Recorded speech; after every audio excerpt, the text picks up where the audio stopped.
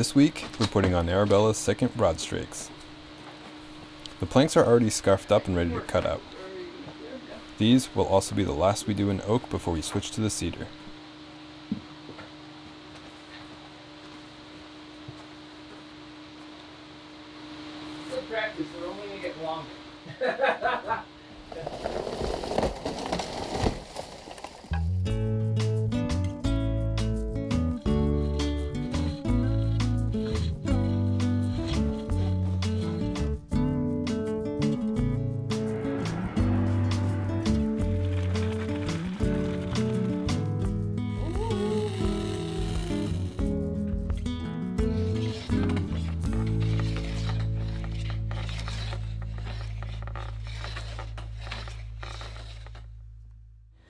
Time to put the last oak plank on Arabella. So the plans for the boat call for cedar planking, but we put the bottom three strakes of oak. And the reason for that is the oak's just, it's harder um, and it's a lot stiffer. So down low where the bronze floors are and we're connecting the planks to the frames, to the bronze floors with the carriage bolts, and where that extra weight isn't an issue and the extra rigidity is actually a benefit. So we decided to put the bottom three planks on an oak, and then after this they're gonna be the cedar. Now before we get to the cedar, we need to do a little more housekeeping. So we never finished the rabbet on the stem and the stern. We gotta wrap that up. We got a couple frames up there that we need to make, and we got a drill for the prop shaft in the stern. Once we get those things wrapped up, we can jump into the planking, and then it'll just be the cedar up to the sheer. The cedar should go on a lot easier. Uh, it bends easier, it's a lot lighter, and it's a lot easier to work. So putting the cedar planks on should go a bit faster than wrestling these big heavy oak ones on. And speaking of wrestling the oak ones on, we had a lot of people who commented and wondered why we didn't steam the planks. And the reason we didn't steam them is because we didn't really need to, and it honestly would have just taken a lot longer. So we would either need a 30 foot long steam box to put these in, and then we really only have a couple minutes between steam box and get clamped on the boat. So a better solution would be to put a bag around them and steam them in place. And if we did that, we would have boiling water inside the boathouse and the bag would be off-gassing the steam and it's 90 something degrees already inside this greenhouse that we're working in and that would make it miserable. Uh, and by the time we waited for the plank to get hot and steam and bend in, we could have clamped it into place two times in that amount of time. So it really wasn't any great benefit to steaming them. And one of the other things, these oak planks, they're not perfectly seasoned yet. They're probably half to two-thirds seasoned, which is great because when they're going to go in the water, they're going to swell up and seal up, but they're not going to swell crazy amount, which is good. Uh, but having them not be completely seasoned makes them a lot more pliable, so they wrap around the boat really without that much force. And after just overnight on the boat, the, uh, they hold the shape and the twist incredibly well. So these planks are adapting to their, to their new form really well, and there was no real benefit to steaming them. If they had been very dry planks or had been really much bigger, maybe it would have been worth it, but for us it was just easier to clamp them down. So with that, let's get back to work. First thing we had to take care of was cleaning up the rabbet. No different than before, just checking through with the fids and the battens and using whatever tool worked best.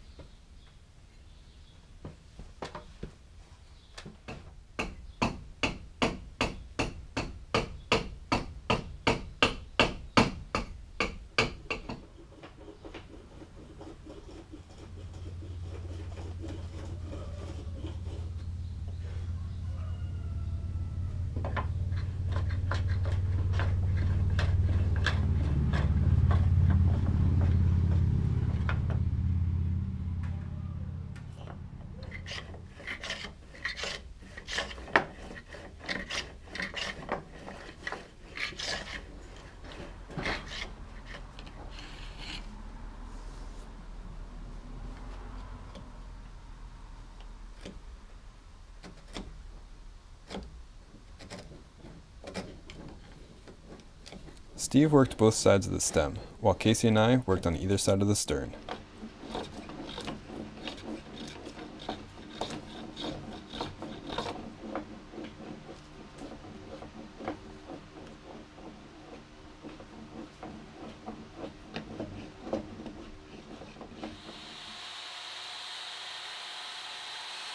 Once we were feeling good about the rabbet, it was time to start cutting out the portside broadstrake.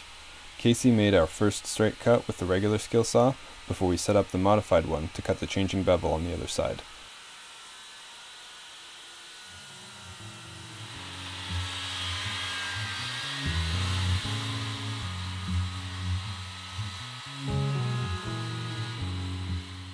We had already made and transferred the marks to the plank. We just needed to set up the aluminum track that will guide the saw.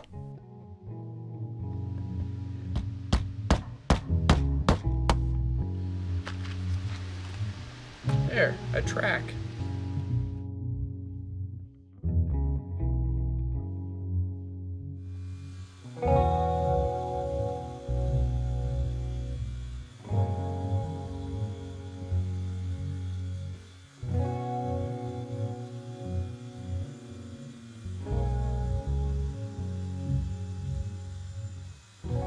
So, pretty good day today. We got the next broad strake cut out. So, Casey and I worked on cutting this thing out while Steve was cleaning something up in the back of the boat over there, um, which was kind of neat because I haven't had the chance to actually cut one of these out by myself. Um, so, I got to use this skill saw jig that we built to cut the bevel on the edge here and uh, had to figure out this little nib that we have that is going in front of the nib end uh, from the last broad strake. Uh, so that was kind of neat to figure out. Everything looks pretty good. Um, tomorrow we are going to clamp it on the boat and see how everything fits and start backing out, which is pretty cool. Uh, this next strake seems much, much flatter. There's going to be much less backing out to do, so it should be a lot easier. And hopefully we can get this thing hung tomorrow. Well, at least hung and shaped, and then we got to paint it, and then it's going on. Sounds like it.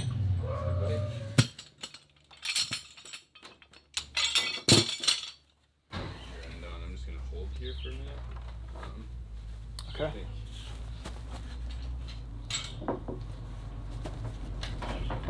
Uh, my way a little bit. Yep, that's good.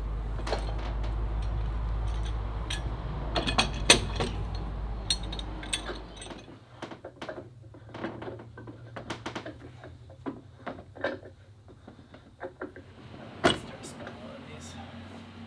Feel like maybe I've said them a lot. Yeah.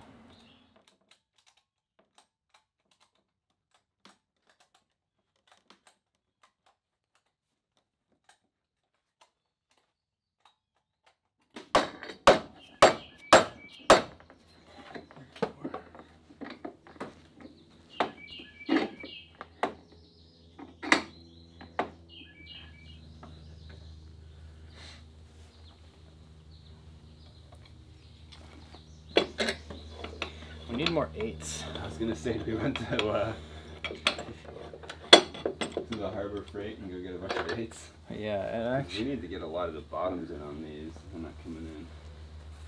Otherwise, we're gonna have to set up the cargo straps somehow again. But I think at this angle, it's gonna be much more difficult.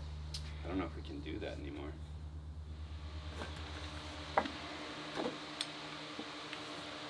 can I help you in any way? Yeah. Uh, what do you need? Uh, get this thing set up. I think we're just gonna need that board behind this.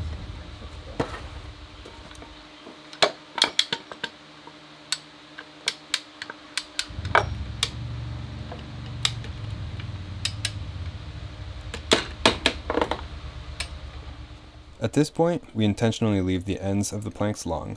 Only after we get a sense of what is happening and how much we'll need to back out do we start to make decisions about how to cut these. As Steve says, it's something you need to sneak up on.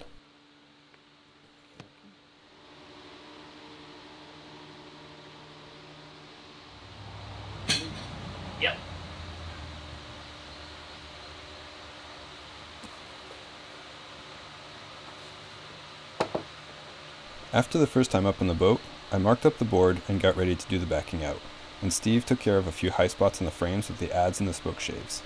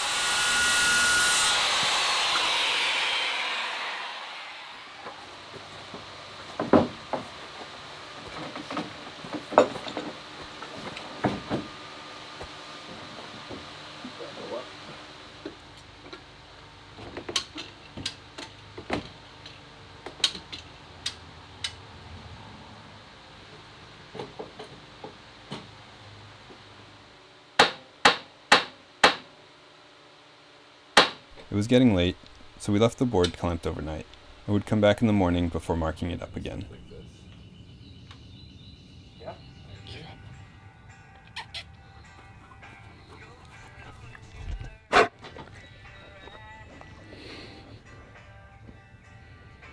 Steve started marking up the starboard broadstrake.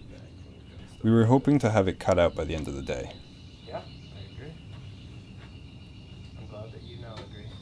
And I walked around the boat, marking the port side before taking it off again for adjustments.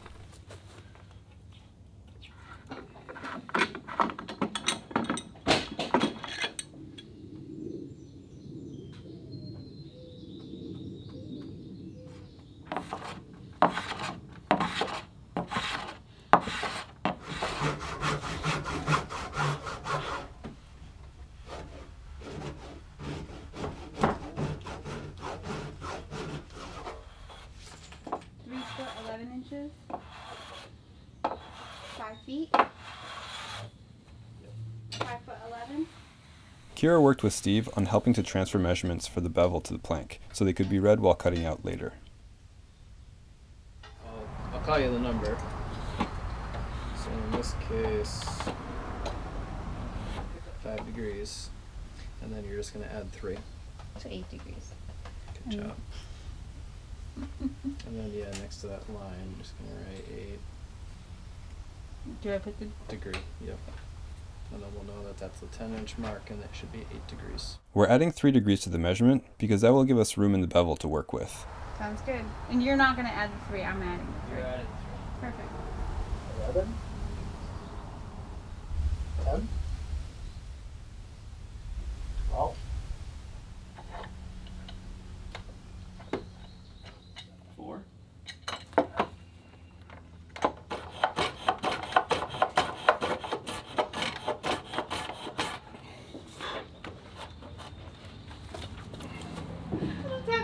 Do anything to.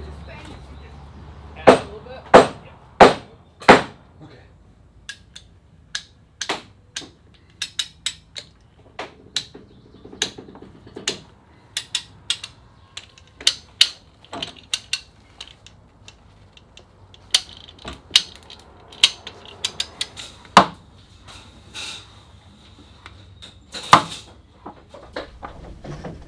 You want this in your scrap wood pile?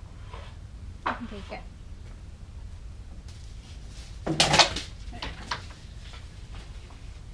Unfortunately, this was as far as we got with the starboard plank before a giant thunderstorm exposed a few leaks in the boathouse that really needed to be taken care of.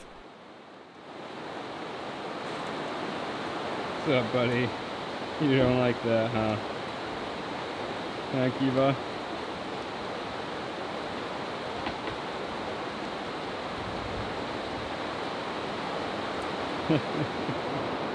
Definitely does not like the thunderstorm.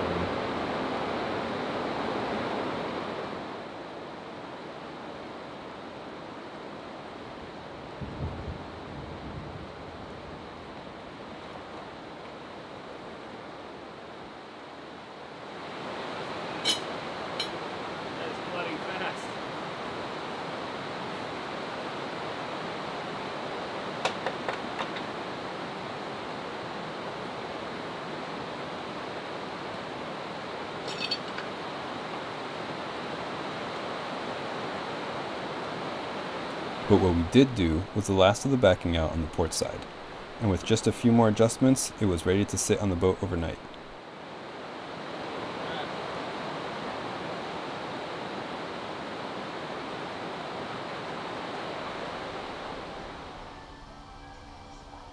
The next morning, we painted it, oiled it, spread out the Dolfinite, and it was time to clamp it down for the final time. With only a few wax screws going into the stem and stern, most of this plank is held on by two bolts at each frame. These bolts also pass through the bronze floors, which makes attaching these pretty time consuming. There's gonna be a humongous difference when we are above the bronze floors. This whole process can go a lot faster. Yeah, well.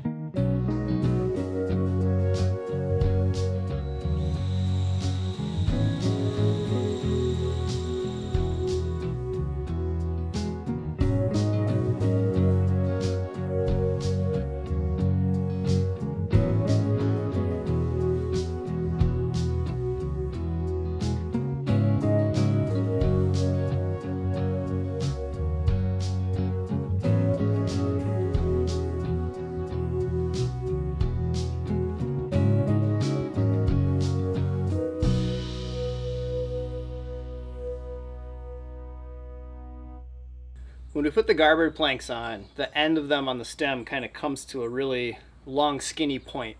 And that's it's okay, it's totally fine, but we are not really a huge fan of that. And the reason is that that long skinny edge, uh, when we caulk it, especially over time, there's a higher chance of that splitting and cracking and doing something funny.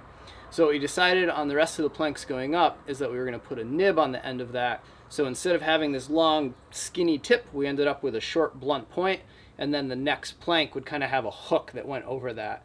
And that would eliminate that really skinny edge and then we could just plank or I'm sorry we could just caulk that little vertical seam when we caulk um, so it'd be a pretty easy solution and it's very common on boats.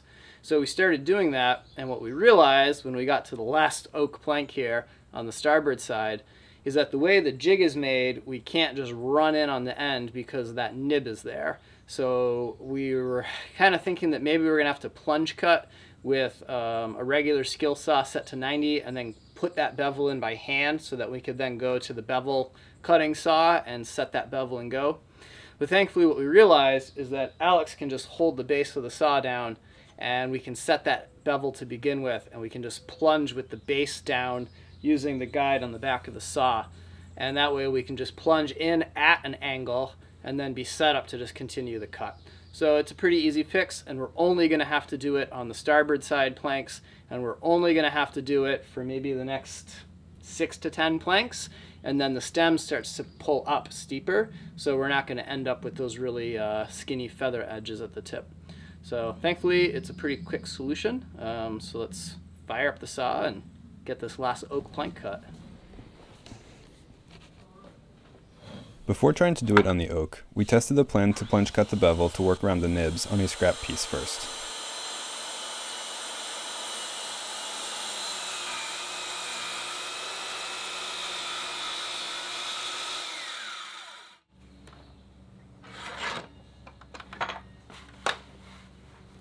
That looked like it worked pretty well. That looked like it worked really well.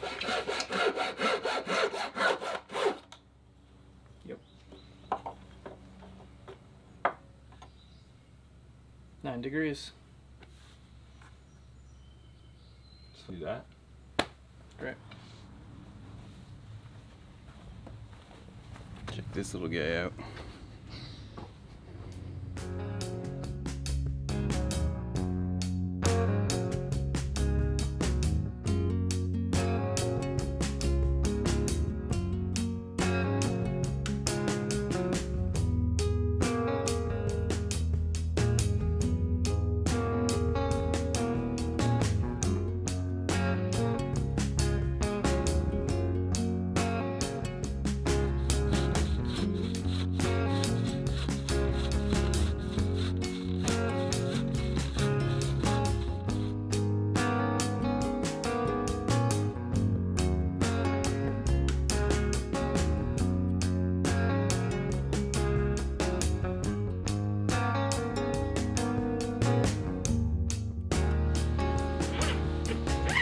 How the plank starts when you first put it on.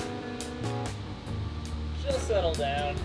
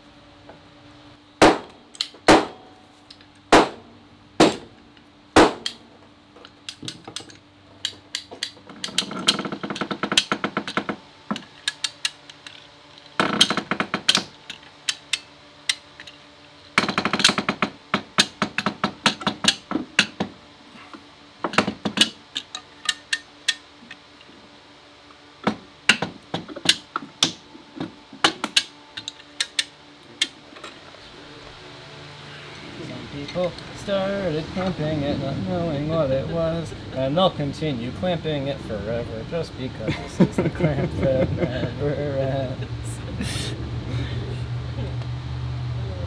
Cool. We left the uh, starboard side second broad strake clamped overnight, and everything seems settled and good. We gave the clamps one little crank this morning. Most of them didn't move at all, but a couple of them did, so we got a little more distance out of it. And the seams and everything look great, so now we're just going to fasten this off. And like we said before, that'll be the end of planking for a little while while we go wrap up some stuff on the stem and the stern.